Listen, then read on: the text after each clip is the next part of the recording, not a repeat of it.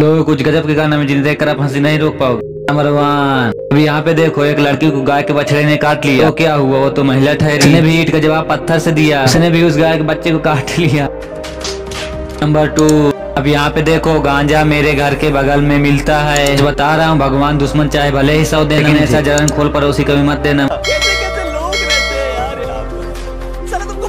Number three शादी करने से पहले हमें सोचते हैं कि ऐसी ही हमारी बीवी मिलेगी, लेकिन शादी होने के बाद उसका उल्टा होता है।